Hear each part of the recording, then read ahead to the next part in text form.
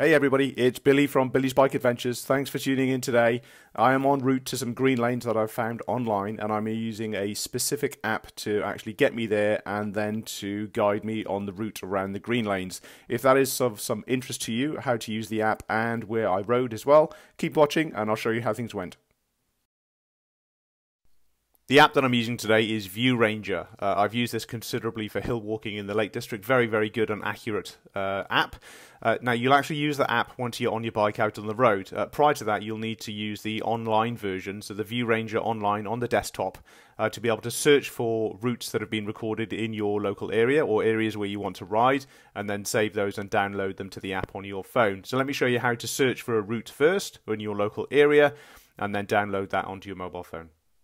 So on the navigation bar at the top, you have uh, a whole host of options. You want to click on Find Route. This then takes you to a page uh, that has a map on it. Uh, depending how far it is zoomed in, you will he either have lots of boxes on there, or you will have, as you see here, uh, four circles.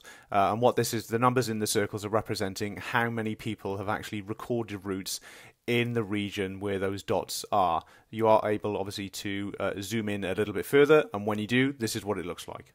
Each one of the squares that you now see on screen represents somebody that has recorded a route in that location. Uh, what you need to do is filter these out now so that you exclude everybody that's been walking or cycling or canoeing, etc., and have only on there the off-road uh, riders or, or, or, vehicles. So in the um, sub menu bar at the, at the top, it says filter on screen map results by, and you can do that by type.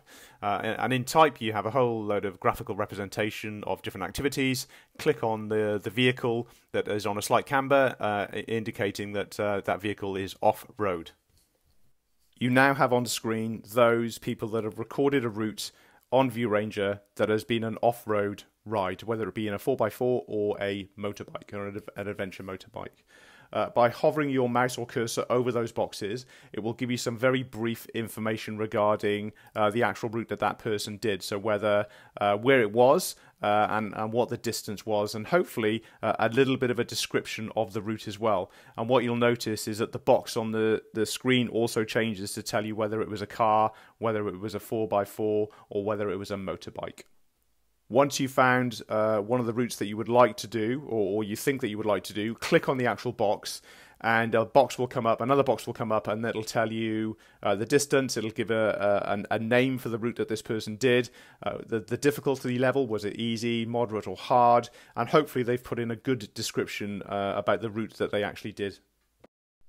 Clicking on the highlighted link in that box now takes you to this page uh, where you can, in the top left hand corner, you can purchase or download for free this particular route. As long as you've got the app on your phone, you will be able to see this route that you've downloaded uh, in the app and then start using the app to navigate your way to and then round the route that's been recorded. Having now downloaded the route that you've chosen, go to your ViewRanger app on your phone and go to your profile, open up and go to your profile page. So this is mine that you see on screen at the moment. Uh, and uh, a third of the way down, you see options for feed, tracks, routes, and profile. Go to routes, and underneath there, it'll show you all the routes that you've either recorded yourself or that you have saved.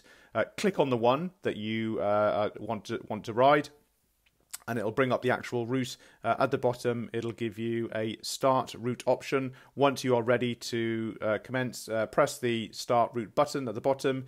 It'll bring up this screen, shows it shows you a map of your current location and the direction in which you need to travel to get to the actual route.